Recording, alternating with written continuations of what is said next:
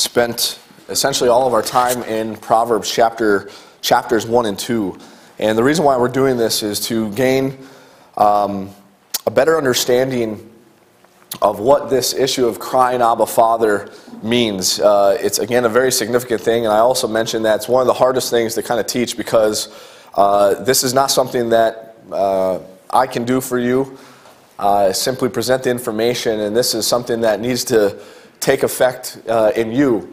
And um, it's also harder than maybe some other things because anytime you're dealing with um, when you're talking about the your heart uh, not necessarily, not even your physical heart, but our inward man heart and our mind as receiving invisible um, information. Information. I mean, we have words on the page, but when we read it, uh, and we're talking about wisdom and understanding and knowledge and those type of things. Uh, it's not easy to always talk about how it all works and those type of things, but rather, uh, hopefully, by talking about the things that we have, it gives you at least a sense of what the, our Heavenly Father is looking for in connection with what He's provided us and what we already have come to know that He's provided us and, and what, he's, what's, what He holds out to us in His Word.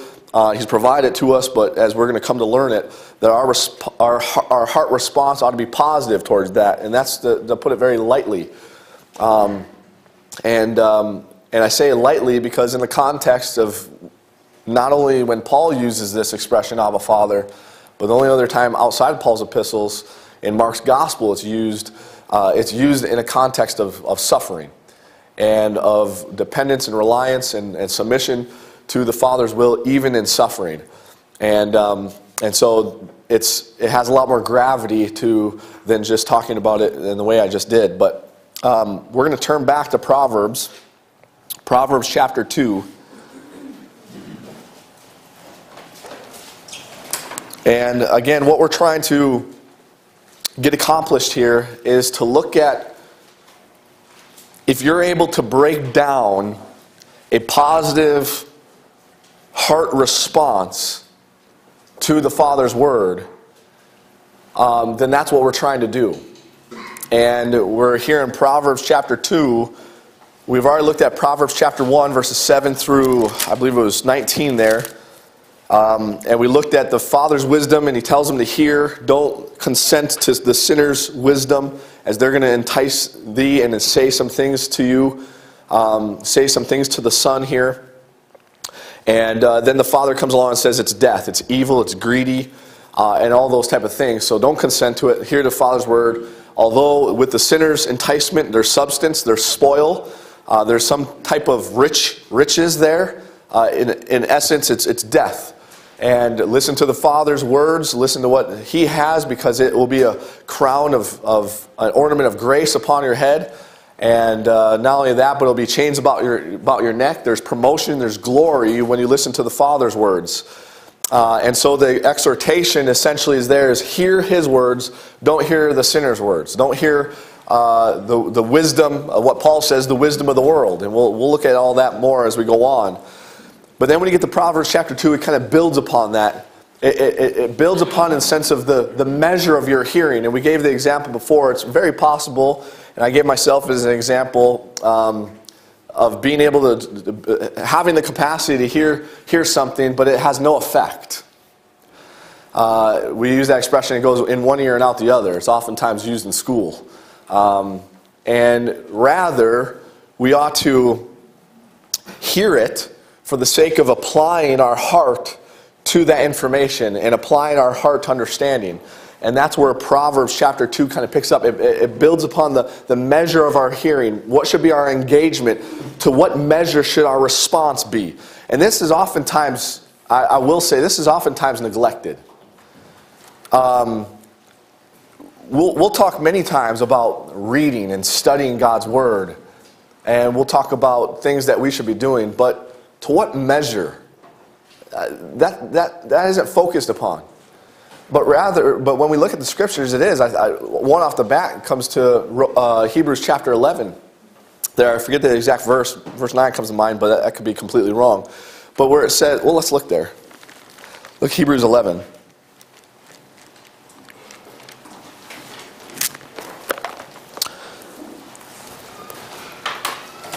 Good thing we came here because it wasn't 9 was an upside, upside down nine, six. Hebrews 11, verse 6. It's this Hall of Faith chapter. And he says, But without faith it is impossible to please him. For he that cometh to God must believe that he is, and that he is a rewarder of them that seek him. Yeah. That word is describing the measure of the seeking. It's a, it's a very significant word in the verse. Those that diligently seek him. The opposite of diligence is slothfulness. Well, according to Proverbs, it is. It's slothfulness. You know what a sloth is? You go to a zoo and you see a sloth. Thing is just, you know, it's, it's, it gets so slow. It, it, it, it just doesn't, there's no urgency. I don't know if sloth even has the capacity to be urgent at all, but it sure seems like it does. But it's, it's slow. Diligence is the opposite of that. There's some urgency, there's some, there's some quickness to it to, to get some things done. And we ought to, here the writer saying, diligently seek him. Uh, come, come with me to Colossians. Colossians chapter 3.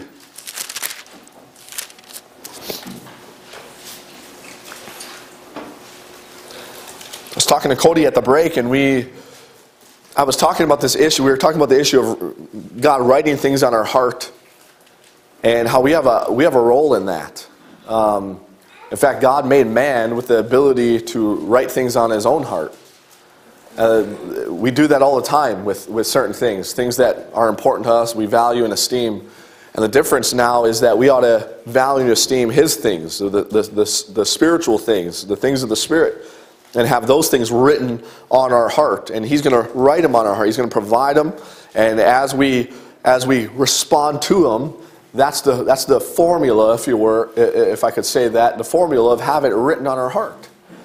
And um, just like anything else. I mean, uh, you listen to music or listen to the news, or you've gone to school and you got some other uh, read a book and you have some source of wisdom there. There it is for you. It's designed to communicate something to you. How much are you gonna? How much are you gonna give it uh, uh dominance in your life? How much are you gonna have it hold sway in your life? Some things you just throw out the window. Some things you, you actually consider and you give time to and you think about. And it's those things that you give that time to that really become prominent. The issue becomes now with, with our Father's words is that's what our Father's word should be to us above all else. And so this issue of seeking and diligently seeking ought to become a hallmark feature of our minds and our hearts and our lives before God. But look at verse 3 of Colossians chapter 3. I'm sorry, Colossians chapter 3, verse 1. If ye then be risen with Christ, what's the next word? Seek, Seek those things which are above. And here's, here's the, there's a lot that's going to go on with this next statement, clause here, but it's supposed to provide for you some significance and, and, and compel you to seek those things that are above. He says, where Christ sitteth on the right hand of God. The, the reality and the fact that Christ sits at the right hand of God ought to be one of the reasons and compelling factors of why you're going to seek those things that are above. And when you compare Christ sitting at the right hand of God in lieu of anything else that can motivate you to seek something, that should give you some diligence and place some emphasis upon you seeking it. Because there's no greater position, there's no greater place to be than at the Father's right hand. And the very things that you seek are where Christ sits at the right hand of God. And so that should that gives a little more emphasis and, and, and, and uh, description upon the measure of your, your seeking. Is yes, you're seeking, but you're seeking something where Christ sits at the right hand of God. Set your affection on things above, not on things on the earth. Why? For ye are dead, and your life is hid with Christ in God. Where Christ, who is our life, shall appear, then shall you appear with him in glory. So all those things are made, the, the, the glory and, and Christ and him being at the right hand of God, all those things are factors into your seeking. And the measure of your seeking is reflective of your understanding, your appreciation, your esteem of those things. the glory, the right hand of God, God Himself, Christ, the fact that He's sitting, all those type of things. And so, again, that's what we're looking at. And, and I'm trying to bring those concepts and, and look at these things maybe at little different angles to gain a further appreciation of this, this measure of this cry of Abba Father, what's, what's involved in it. And hopefully these things are, are, are, are providing some of that. Well, come back with me to Proverbs chapter 2.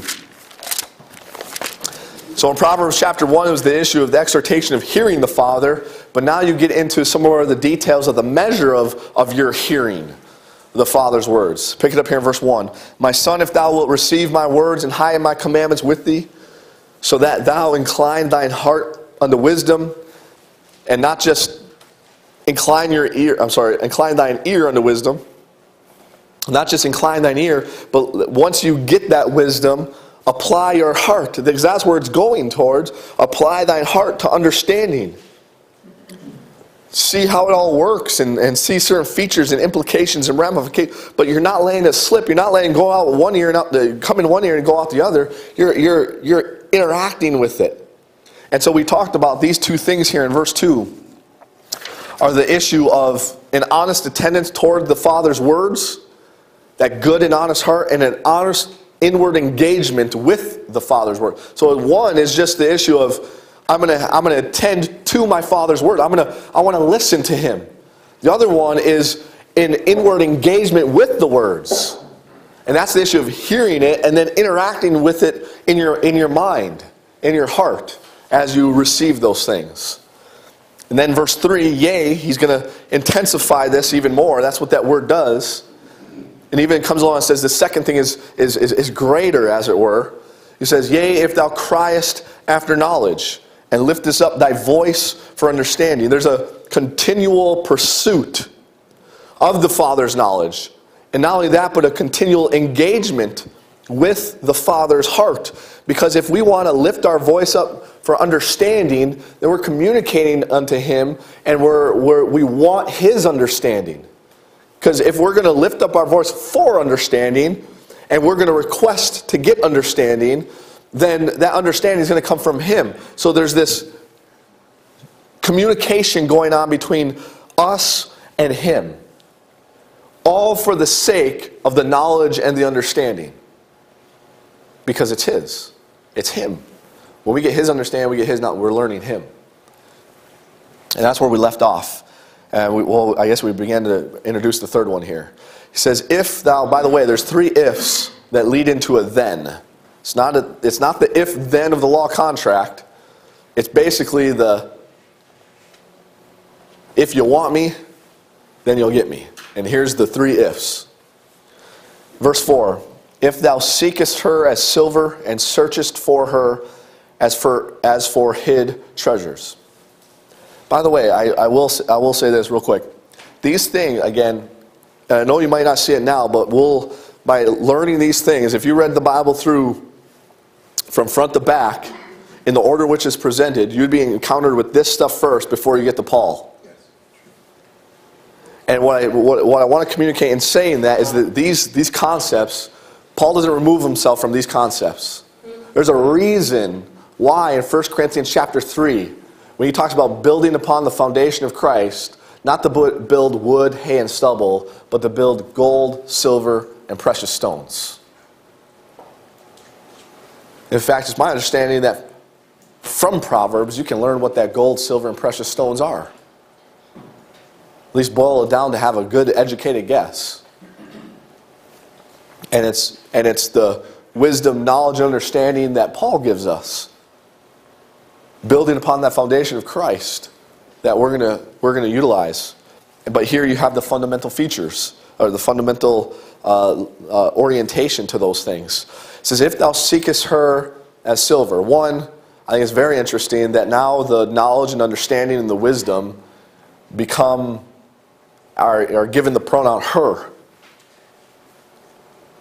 Her's a pronoun. Her.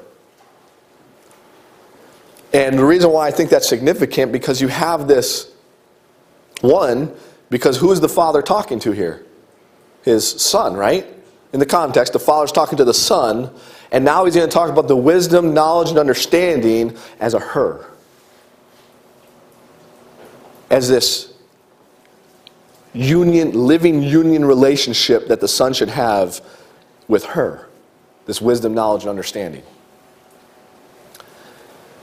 And he says, If thou seekest her as silver. Notice again, you, you get a sense of the measure of the seeking by what it is that he's comparing the seeking as. As to what? As to silver.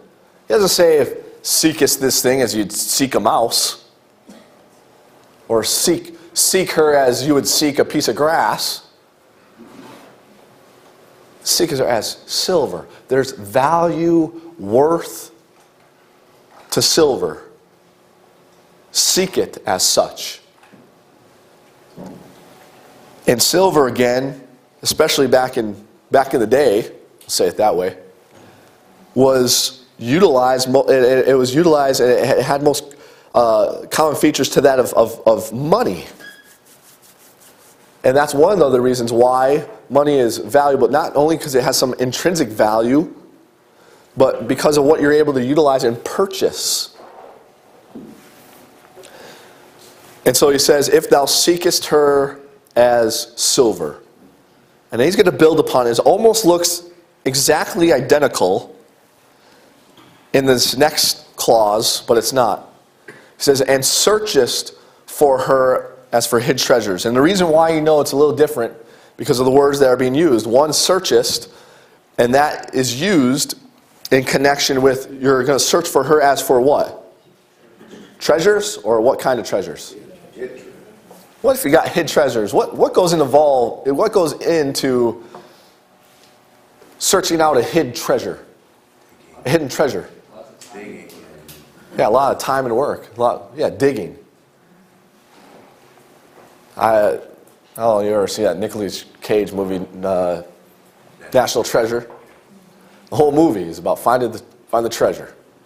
They're going to this place, going to that place, looking at this clue, looking at the next clue. Now that's, that's a really bad example, but that's the, that's the kind of thing, the issue of, you know, we're going to find the treasure. X marks the spot, right? And yeah, go over here and over there and cross the sea and cross far lands and, and all these type of things. And it's hidden. Even though you get to the place where supposedly the treasure is, it's still hidden. You gotta, you gotta, you're in that place and you gotta find it.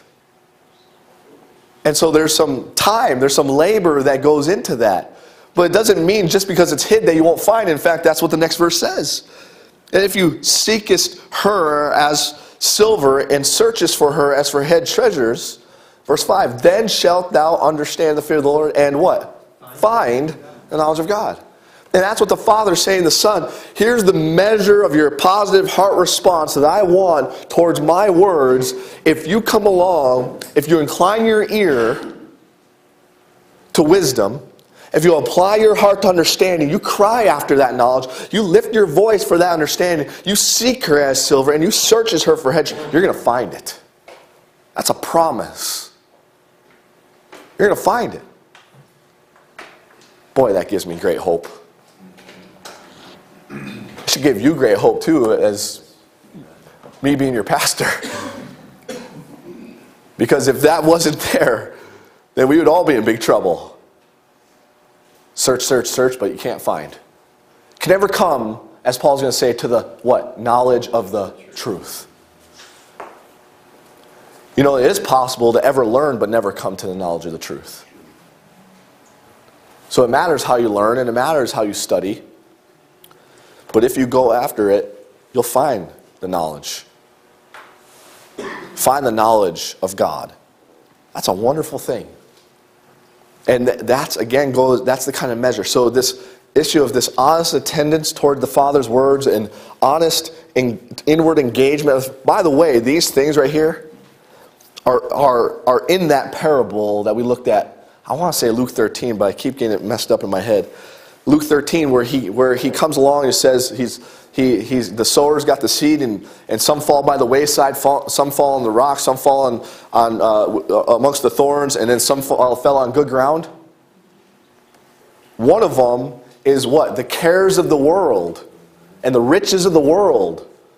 Uh, I forget the exact terminology used, but but but uh, I can't think of it. Let's go over there real quick. I want to say it's Luke 13.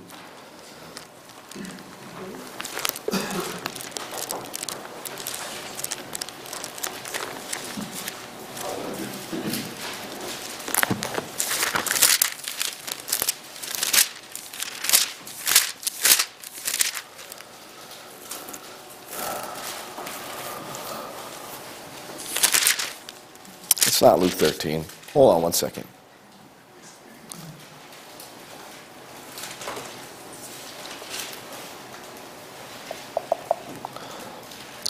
I want to show this to you, so I'm going to look it up here real quick. It very well may be.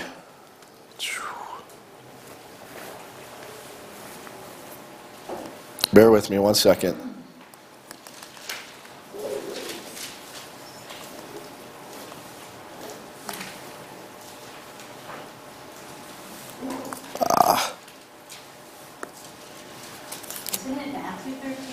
Is it Matthew 13? Luke 8. Come with me Luke 8. It probably is Matthew 13 too, but um, the reason why I want the one in Luke is because uh, it talks about the, the good and honest heart. Luke 8. Never forget that again. It's usually something like that where it gets written on my heart. Uh, he gives the parable there, and then he's going to give the explanation, verse 9. And his disciples asked him, saying, What might this parable be? And he said, Unto you it is given to know the mysteries of the kingdom of God, but others in parables, that, uh, that seeing they might not see, and hearing they might not understand. And, and the disciples are the ones that are going to go after. They want to see it, they want to understand it. And the Lord's going to give it to them. Now, the parable is this the seed is the word of God. So we're dealing with the same type of thing. The, the word of God there, Proverbs is the words of the Father.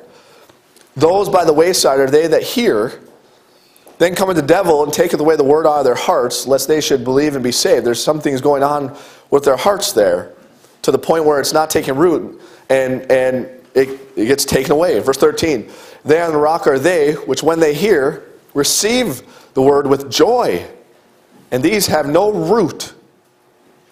See, they hear it and they receive it with joy, but it's, it's not like they're applying their heart. They don't take it the next step.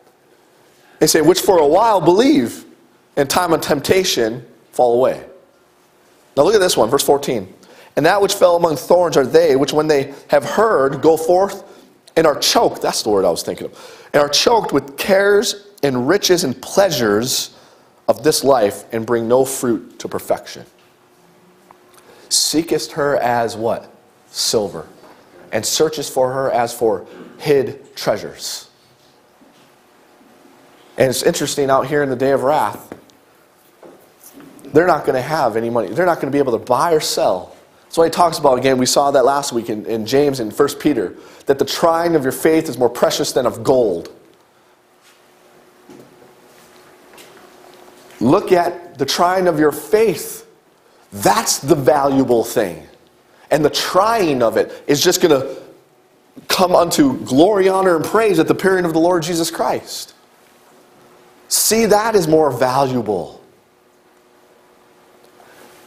And in that, add to your, your, faith uh, virtue, and virtue, godliness, and godliness, patience, and patience, charity, all those types of, add to your, seek out this thing. It's more valuable. Even at the sake of your monetary coinage and all that stuff, money, finances, when, when they don't have it here. Verse 15, but that on the good ground are they which in an honest and good heart, having heard the word, what? Is that what we talked about? There in Proverbs 2, verse 1, that if you receive my word, if thou wilt receive my words and hide my commandments. And we talked about hiding as the issue of not just embarrassed of it, but you also have the issue of keeping and protect because you have something valuable. We talked about Moses, his parents hid him to protect and keep him as long as they could from, from Pharaoh. That's the issue. We, we have heard it and we keep it. We don't, not keeping the law, we're keeping his word, his father's words. The word of God now. And bring forth fruit with patience. That's, that's the only one that there's fruit bearing. I don't know if you noticed that through the, through the seeds. Not that there is an issue, that's the whole focus, by the way, is, is the fruit bearing. One has no root, can't even mature and grow up to bear fruit. The other one is choked out, so it's almost like it, it's starting to grow, but then it gets to this point where it's choked. Usually, when a plant is choked, what ends up happening? Doesn't bear any fruit. But the one on good ground, that's the one that bears fruit. And I, I go to this because that's not far removed from Proverbs 2. And again, the measure of our response, he's giving insight to what the good and honest heart is. The good and honest heart doesn't value the other things of the world to the point where it gets choked. Now, we got to live in this world and operate in this world, but we don't get choked by the world to the point where we faint and, and, and those things become the emphasis of our life and not the real valuable thing. Nor of the issue of, what, oh, we received the joy, we, we received the word. That, that's verse uh, 13 there. I mean, that's most of Christianity today. I'm not saying there's direct, it's not direct application of it. That's most of Christianity. Hey, receive the joy. Let's go to church and hear some words of God and those type of things. Woohoo! Yeah, woo! They go home and they got. They need another one. Another one that give me some joy. Another motivational, inspirational speech.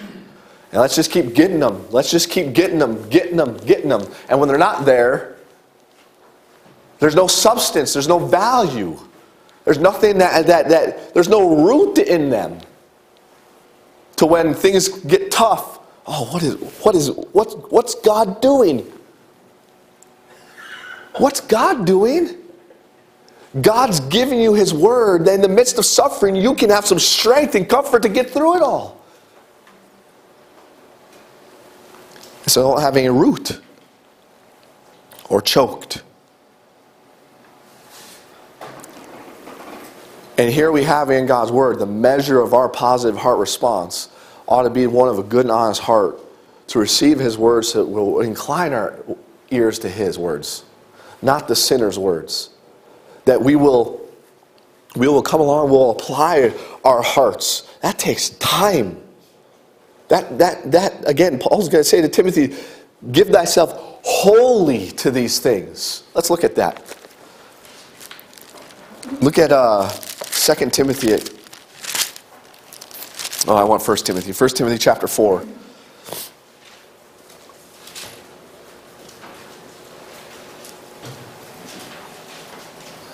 back it up here. I mean, you have a, you have a, a similar passage than what we're looking at. This, the kind of information we're learning, you just see this repeated all over the place. Look at 1 Timothy 4, look at verse 1. Now the Spirit speaketh expressly that in the latter times some shall depart from the faith, giving heed.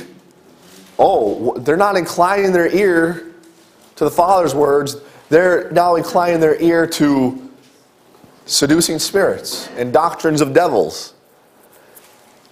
And those ones are speaking lies. Here's the Spirit speaking, and here's some who've departed and they're speaking. Speaking lies and hypocrisy, having their conscience seared with a hot iron, forbidding the marrying, commanding to abstain from meats which God hath created to be received with thanksgiving of them which believe and know the truth. For every creature of God is good and nothing to be refused if it be received with thanksgiving, for it is sanctified by the word of God and prayer. If thou put the brethren in remembrance of these things, thou shalt be a good minister of Jesus Christ, nourished up in the words of faith and, and of good doctrine. The doctrine that they have is doctrines of devils, it's evil doctrine. Whereunto thou hast attained, but refuse profane and old wives' fables, refuse it. Don't incline your ear to it, refuse it. Get away from it. Don't try to mingle with it and those, you get you take your stand by refusing it.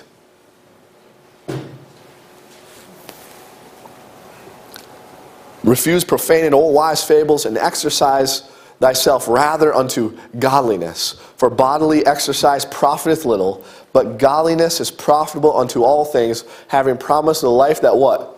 Now is, and of that which is what? To come. The life that now is, and the life that is to come. And he says this This is a faithful saying worthy of all acceptation. For therefore we both labor and suffer reproach, because we trust in the living God, who is the Savior of all men, especially of those that believe. These things command and teach. Let no man despise thy youth, but be thou an example of the believers in word and conversation, in charity and spirit and faith and purity. Till I come, give attendance to reading, to exhortation, to doctrine. Neglect not the gift that is in thee, which was given thee by prophecy with the laying on of the hands of the presbytery. Now look at verse 15. Meditate upon these things. Give thyself what? Wholly, wholly to them. He uses that word wholly over there in 1 Thessalonians, I believe it's chapter 5. He says, Your whole spirit, soul, and body. That thy what? Profiting. We've been talking about things of value here. The profiting is in these things, the, the, the good doctrine.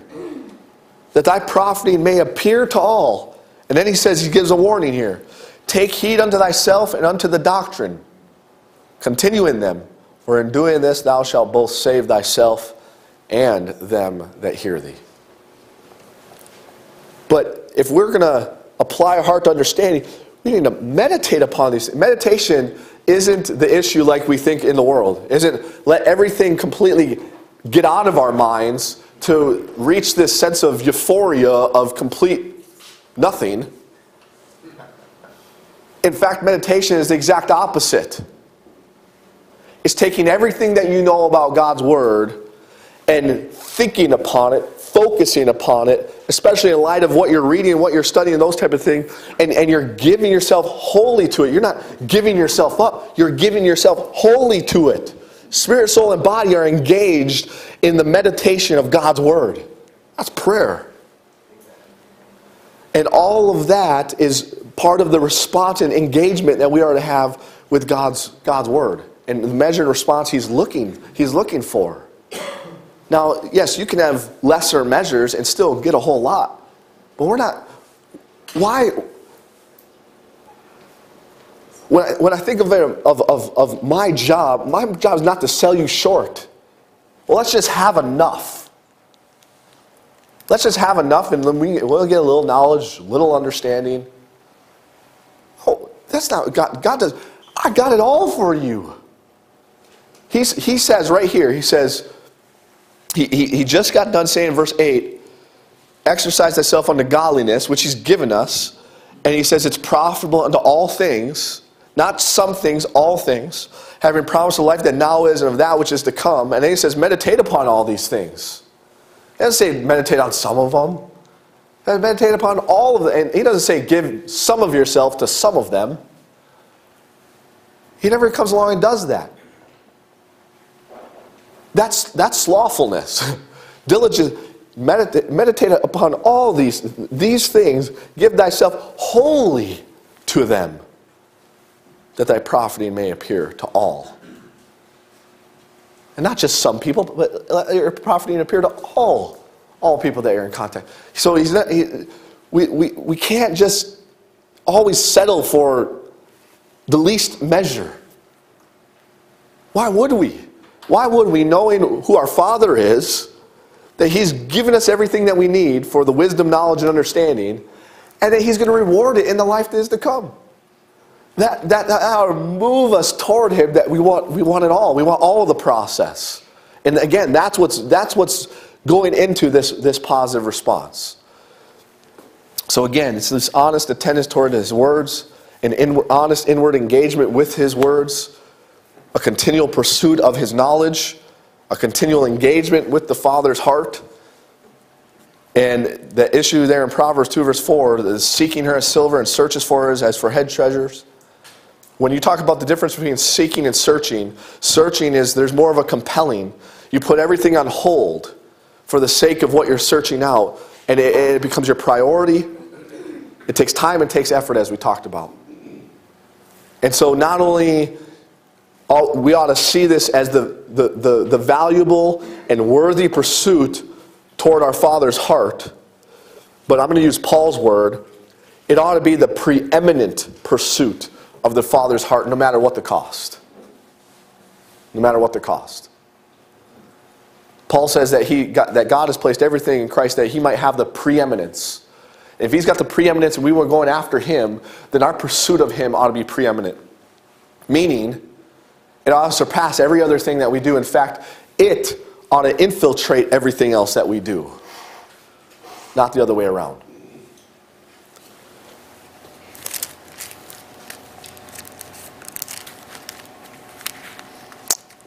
Uh, since we're in uh, Paul's epistles, come with me to Philippians. Philippians chapter 3.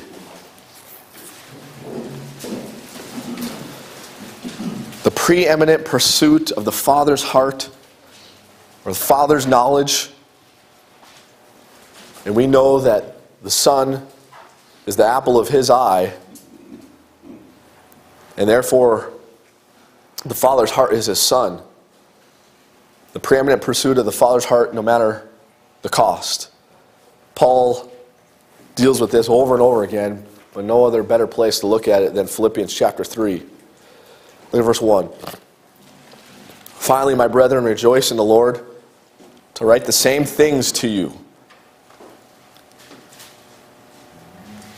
To me, indeed, is not grievous, but for you it is safe. Beware of dogs, beware of evil workers, beware of the concision. Don't incline your ear to them, beware of them, and don't listen to them. He says, For we are the circumcision which worship God in the Spirit and rejoice in Christ Jesus and have no confidence in the flesh. Guess what the dogs, the evil workers, and the concision, guess where they place their confidence? In the flesh. Verse 4 Though I might also have confidence in the flesh, if any other man thinketh that he had whereof he might trust in the flesh, I more. Circumcised the eighth day of the stock of Israel, of the tribe of Benjamin, the Hebrew of the Hebrews, as touching the law, a Pharisee, concerning zeal, persecuting the church, touching the righteousness which is in the law, blameless. But what things were what? To me, those I counted what? Loss. For who? For Christ. He's doing the same exact thing. He's coming along and he's saying, that is loss. That, that's, I, I'm not going to go after that anymore. And, and he's going to count it. Paul's doing this. Paul, in light of the knowledge and what he had, he looks at both of them. He sees what the one produces. He sees what the other produces. He says, This one's loss for this one. He doesn't stop there. Verse 8, yea, there's that word again. Yea, doubtless, no, no doubt. And I count all things. He, he, at, at least in Philippians, Paul's gone to this point where he's looking at this and it's, it's, it's no brainer, as we say sometimes. He's, he's, not, he's not struggling with this anymore. Ah, I just got to hold on. Now, there was a point in time Paul did that. But at least at this juncture, he's not, this looks, he looks at this thing and he doesn't say, well, this looks like a flower. What does he say this looks like? It's dung. That's not a pretty sight. He knows what it is, and that's one of the reasons why he's counting loss. And he knows what he has before him and what's been given to him, and he esteems that. Yea, doubtless, and I, and I count. So he has counted it, he's presently counting it. And I count all things but loss for the excellency of the what? Is that what Proverbs is? Knowledge, wisdom, and understanding. Here's the knowledge of Christ Jesus my Lord, for whom I have suffered the loss of all things, and do count them but dung. Why? That I may what? You know it's possible to be in Christ and not win Christ? He's not talking about winning Christ here. You can only win Christ if you are in Christ. But just because you're in Christ doesn't mean you win Christ. You win Christ by counting everything else loss and dung for Him. And you go after Him, you pursue Him, and you, you run after Him. You walk after Him. And all His things that Paul communicates to us. That's how you win Him. So, a big difference. He says, and be in Him. And what do you mean by that, Paul? Not having mine own righteousness. Guess what? If Paul would have stuck with that law, he would have some righteousness, but it would have been his own. Not God's righteousness through the Spirit, him, and him utilizing that and producing the, those, that fruit. Which is of the law, but that which is through the faith of Christ, the righteousness which is of God by faith. Verse 10 that I may know him and the power of his resurrection, and here it comes, and the fellowship of his what? Sufferings. Being made conformable unto his what? What did he cry before his death? Our Father. If by any means I may attain unto the resurrection of the dead, and he goes on. Again, one more passage to just kind of add to this issue of looking at one getting rid of it, seeing the other one, seeing it more valuable, and going after that one, hearing it, applying your heart to it, crying after it until you're not satisfied, until you, until you finally you have the understanding, and, and knowing that there's probably more out there and you want more understanding, you're going to keep going after it, and the issue of making it a priority. You seek it and you search it. You prioritize everything else around this because this is on the mantle. This is, this is supreme. This is superior. And, folks, this isn't legalism. Going after God specifically through what Paul teaches and going after it and organizing your life in such a manner to accommodate going after it because of what's in you, because of what you know is at your fingertips and what He's provided you. That's not legalism. That's what we ought to be doing. There's this false impression out there that, man, if I get down on myself because I'm not reading God's word, oh, I'm under legalism. I'm not saying you have to get down on yourself, but use that to get back in it. Go after it. This is your life. This is your lifeline. This is your reward. This is your wisdom and your knowledge. This is what your being should be as you go about making decisions. And so, yeah, we, we need it. We need it more than we need our physical food. We don't come along and say, oh, I got to get down on myself because I didn't eat. When we think of that about people, we think that they have a disease, by the way. And so there's don't don't fall victim to that type of thinking of this, this, this legalism thinking that, well, if I set up a day, each, uh, a time each day to get in God's Word and I miss it, I kind of get sad that that's legalism. What? No, I get sad. It's your life. I'm not saying you got to beat yourself up, and condemn yourself. Then that would be. But but but get back in. Use it. When I'm not when I'm not in this, I'm sad. And I have no problem being sad. I don't condemn myself. I have no problem being sad. You know what that moves me to? I don't want to be sad anymore. And I know where my li- I know where my life is. I know where the knowledge is. I know where the power is. It's right here. And you know what? I renew my mind towards it and I, I, I start to change what needs to be changed. Everyone's life's different. All, all of our, our, our, duties and our activities that we go through, and how many children you have or you don't have, all that's different. The job and the stress of the job, and how all that is different for each and every one of us. But here's what's the same that ought to be our priority. And no matter how we change and shift things in our life, that's going to all look different. But guess what? We should all be shifting and changing, making that the priority. So th- then we're making Christ the priority, the one who died for us the one who died for us.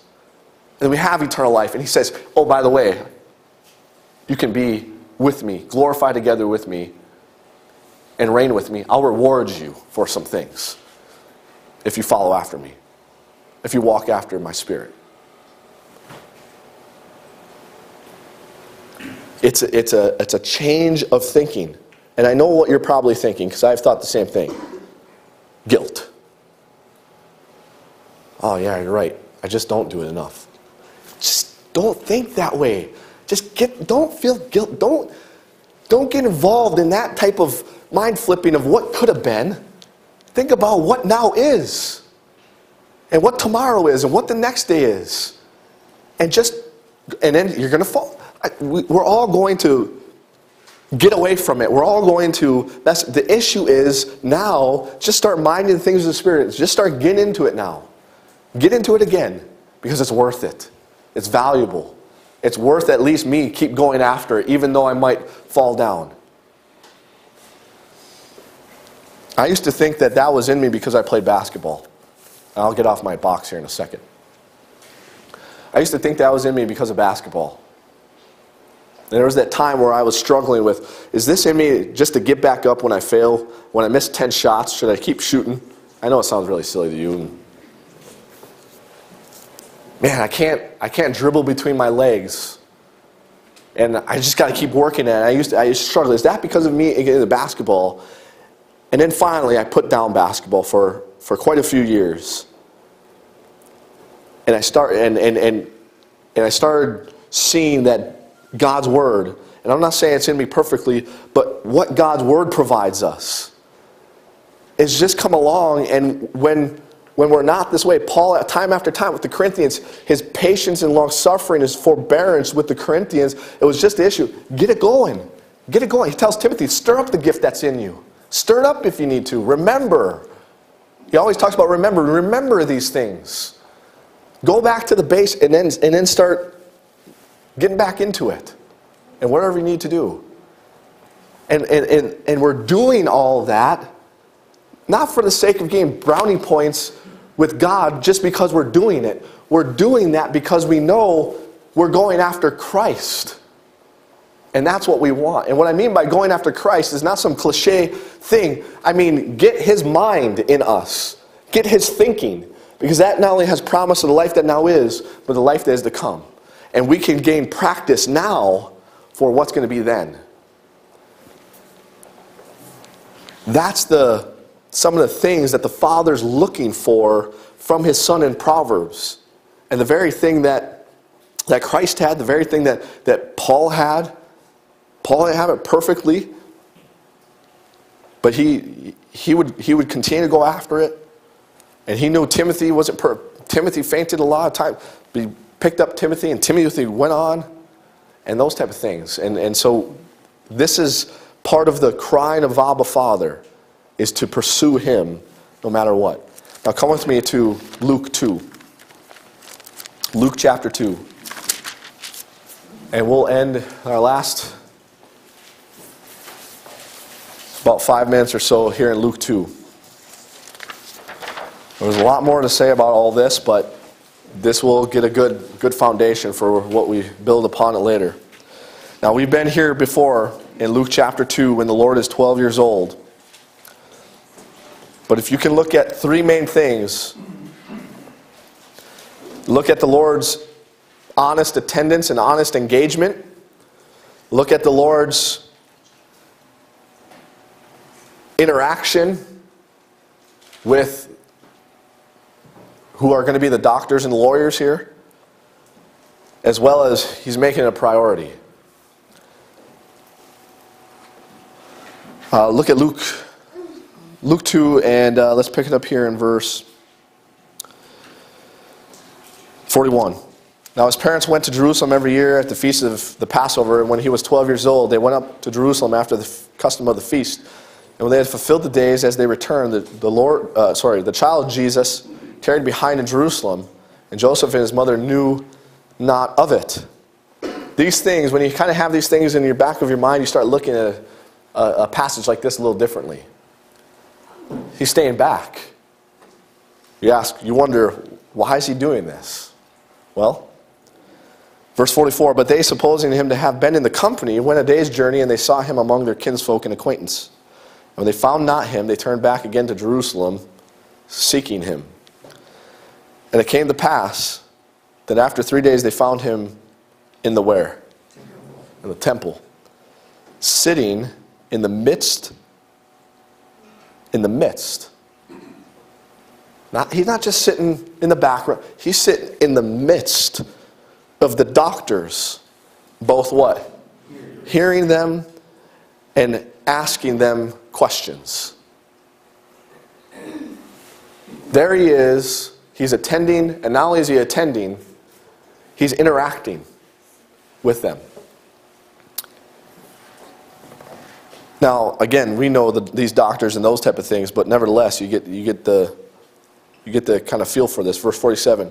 And all that heard him were astonished at his what? Understanding, Understanding and his answers. And that answer is not necessarily to be, it could just be an addition to some replies and questions and those type of things. And when they saw him, as his parents, they were amazed. And his mother said unto him, Son, why hast thou thus dealt with us? Behold, thy father and I have sought thee sorrowing. And he said unto them, So here he is. He's in the temple. He's attending to where the Word of God ought to be. And he's engaging with the Word of God. And now his parents come and say, Why have you dealt with us as thus? Thou thus dealt with us. Verse 49. He said unto them, How is it that ye sought me? Wist ye not that I, what's the next word? man, words make so much, it means so much. He doesn't say, wish not that I ought to be about my father's business. He says, I must. It was his life, it was his priority. I must be about my father's business. Now look at verse 50. And they understood not the saying which he spake unto them. And he went down with them and came to Nazareth and was subject unto them, but his mother kept all these sayings in her heart. Now remember, we just got done looking at that honest attendance, the engaging with the information, and making a priority. Then you find what? The knowledge of God, right? Then you understand the fear of the Lord. Now look at verse 52. And Jesus increased in wisdom and stature and in favor with God and man. There's the result. I know it's not the same exact words, but the concept is there. And this, again, is not a dispensational issue. This is an interdispensational issue from the beginning to the end of the kind of response that God's looking for after one has believed that they're justified in regards to the relationship with God is they need to fear the Lord. They need to positively respond to Him, not shrink back but move toward because of who He is, what He has for them, and what He can produce. And then they and, and then uh, and He's going to exhort them to hear, hear what I have to say, and here's how you hear. Here's the measure I want you to hear. I want you to attend to my, incline unto my ear. I've adopted you. I've brought you unto myself to teach you. How foolish would it be for us to not listen? So listen, engage with the inf- information, and, and make it a priority. And you have those things, and there's even growth um, in those things. You have those things, most fundamentally, and you're going to find the knowledge. You're going to come to some understanding. You're going to come to know me. You're going to increase in the wisdom that I'm trying to communicate. I'm going to try to communicate wisdom unto you so that you can increase in that wisdom. But if you don't listen, how are you going to increase? If you don't engage with me in this process, how are you going to increase? If you don't make it a priority and just put it on the back burner, well, yeah, you might increase, but it's not going to be to the, to the measure of what you could. And so all these things factor into of, of what we can come to know and understanding and go, going after Christ and His wisdom, His knowledge, His understanding. To, we, that the mind of Christ is available to us in God's Word now. That's where it is. It's not, it's not invisible and uh, just out there and hopefully we can come to it. It's in God's Word now. The issue is study His Word. Read His Word, study His Word, meditate upon, get His Word so you can gain that out of it. and, and give yourself wholly to it. Well, let's end in Romans 8.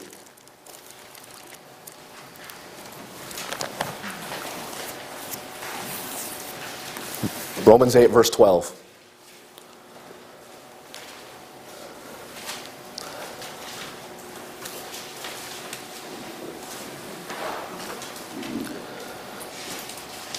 Therefore, brethren, we are debtors not to the flesh, to live after the flesh. For if you live after the flesh, ye shall die. But if ye through the Spirit do mortify the deeds of the body, ye shall live. For as many as are led by the Spirit of God, they are the sons of God. For ye have not received the spirit of bondage again to fear, but ye have received the spirit of adoption, whereby we cry, Abba, Father. I hope, at least if it's just in a little bit, that that expression means more to you than maybe it did at the first. And if it that's how you understood at the first, that is absolutely terrific.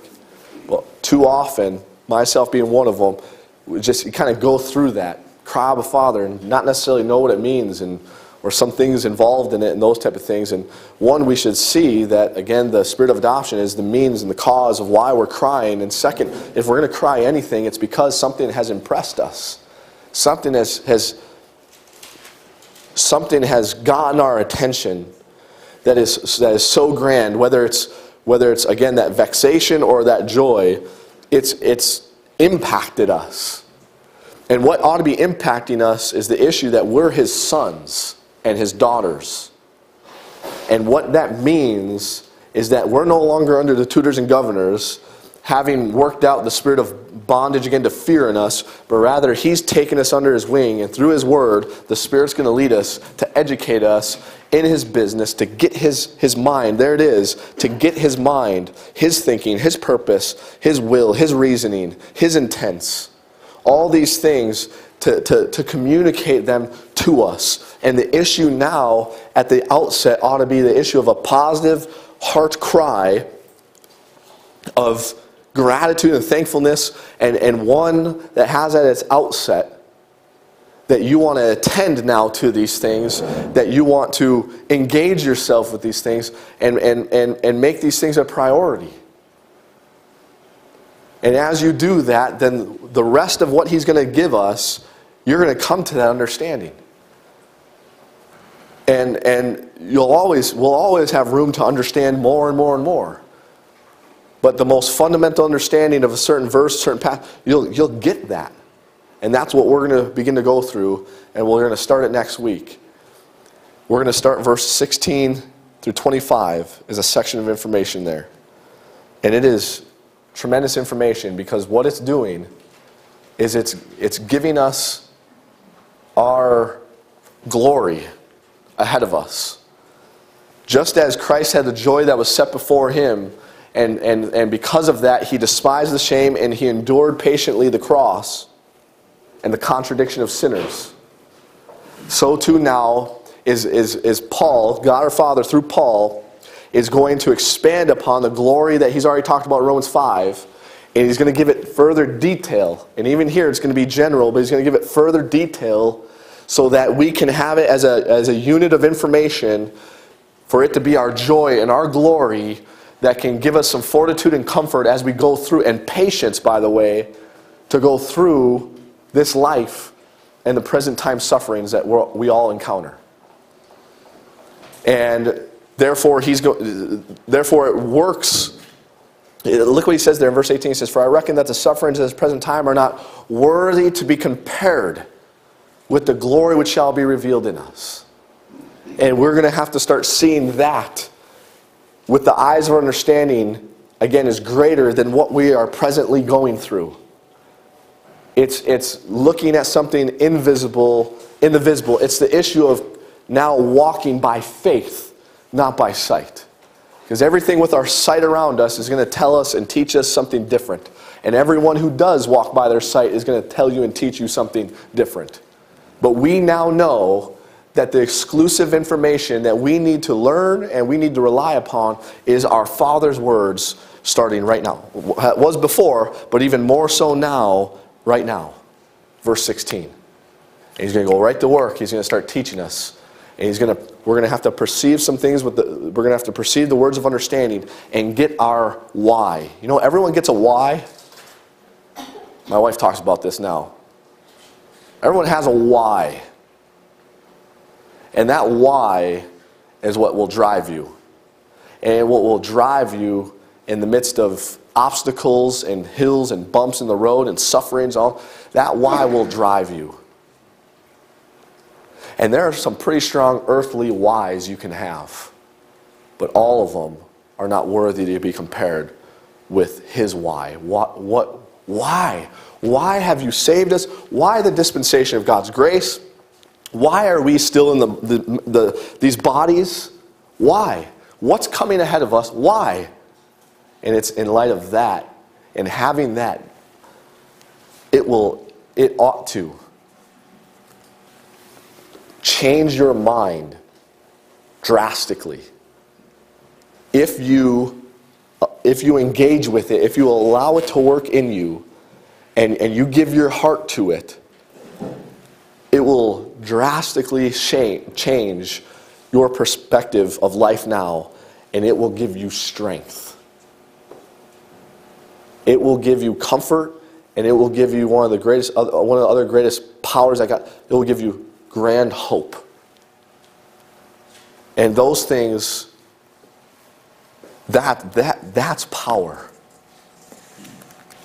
That's power, and Paul says in Philippians chapter 1 and in nothing terrified by your adversaries.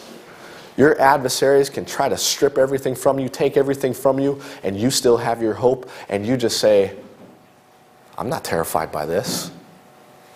In fact, this is working for me. It's working for me. To have that thinking is out of this world, and I mean that. That's our Father's thinking. To be able to look at everything that's coming your way and, and, and not rip out your hair. I didn't do that, by the way. Rip out your hair, start shaking, or get so afraid and, and throw your arms up in the air and faint, and I don't want to do anything. I don't want to see anyone. I don't want but be able to stand and say, This is working for me right now. This is working for me. And be able to go through it. It's unparalleled to anything else.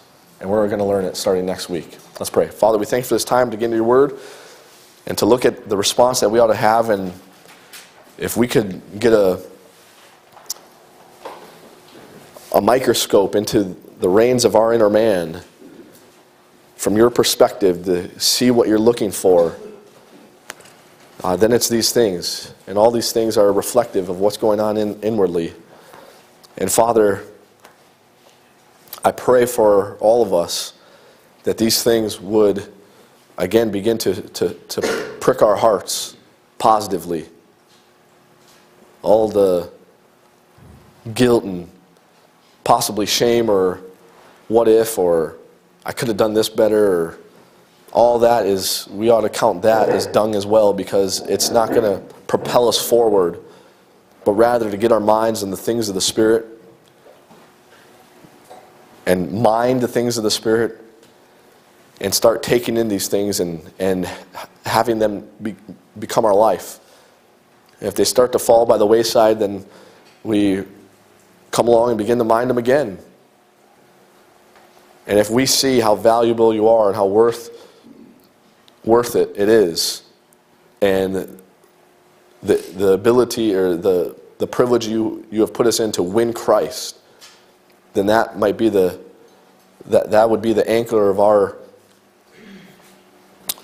constraining to go after you.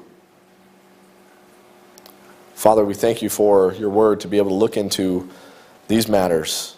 And I pray that as we get done now, at least for a time, dealing with this issue of Abba Father and our cry of Abba Father, that we would examine ourselves to see if these things are impressing us. That is, that we have received the spirit of adoption and that you're going to educate us in your will today.